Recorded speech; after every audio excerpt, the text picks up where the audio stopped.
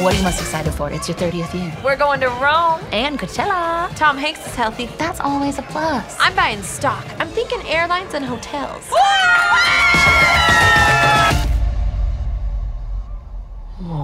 51,000 confirmed cases of COVID 19 in the United States. Jamie, what? It's from Nano's nursing home. Mm-hmm. We've had a serious outbreak. No! Don't you dare spit! Don't you! Ah! You can get coronavirus from liquid poo. You don't know that! COVID 19 is in charge now.